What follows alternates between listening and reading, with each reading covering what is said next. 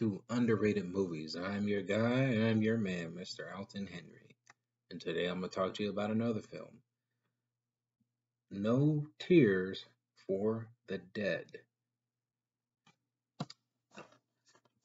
I'm going to just put the cast members' names here. Uh, it's a story about a hitman named Gon who mistakenly murders a youngster during a mission and he's filled with regret. Now he has to clean up the loose ends, which is potentially, in other words, uh, the child's mother. But since he refuses to uh, take her out, they have a they send in a bunch of assassins from the same organizations that Gon works, try to take her down, and he tries to save her life to atone for the sins he's done of accidentally murdering her um, her uh, yeah, kid. Um, South Korean action thriller story. Similar to the film Memory. I, I know this film right here is almost a decade old now. And um, man, when did I get this movie? Dang, how I think I had it for like maybe six or seven years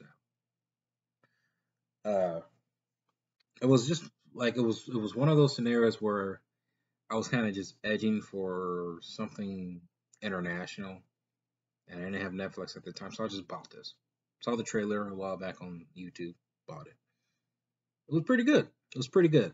This is not really an action heavy film. This is more a drama, and I actually like that South Korean films when they do action.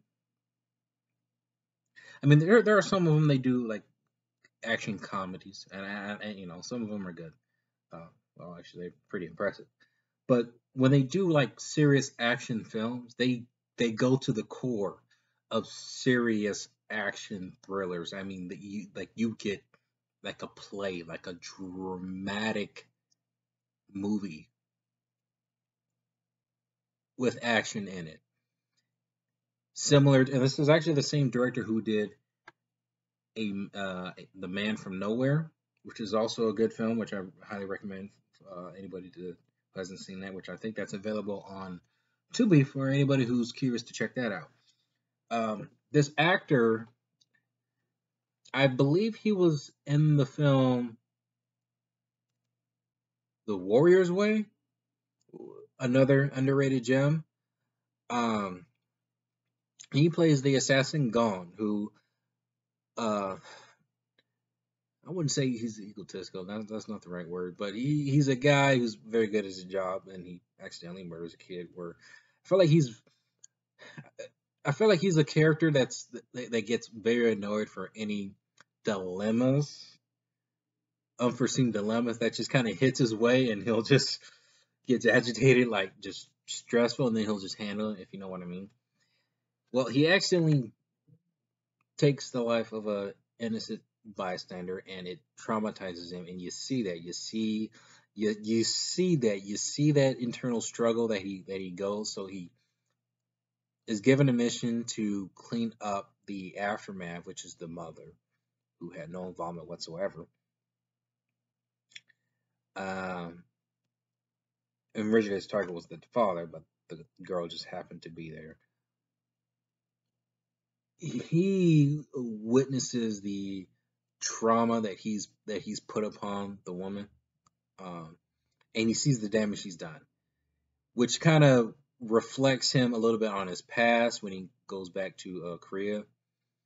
The movie starts in America, but he goes back to Korea to uh, to uh, determine whether or not to take the life of this uh, the life of this woman he becomes very interested in her, but it also reminds it also reminds uh, her, he also gets reminded about the struggle that he had when he was living with his mom and the struggles that she faced trying to basically survive. And somehow he develops a connection uh, to her which without any personal connections but he feels extremely sorry for the woman.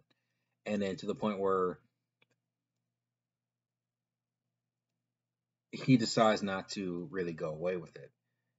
Uh, you see that he tries to protect her once the um, once his organization tries to um, you know complete the mission that Gon decide uh, refuses to do. And uh, the action scenes in here are great. They're bloody. They're bloody. They're it's it's it's like really cool. Like it's like each action scene they improve it than than the be- than the last, which I really like. And uh, my favorite action scene from this film is probably the apartment scene where Gong comes in and and takes out the uh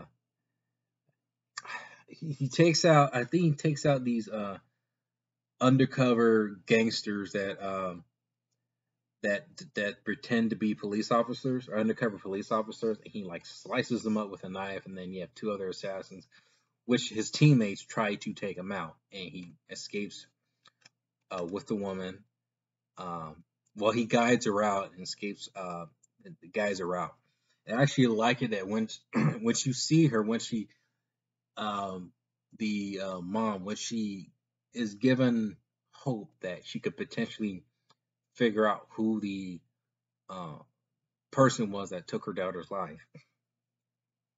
She becomes a bit. I think her her character comes a bit stronger than than what she was during um, earlier in the film, where she plays pretty much a um, hopeless character. I mean, yeah, she her I mean, she, she pretty much lost a kid in the film.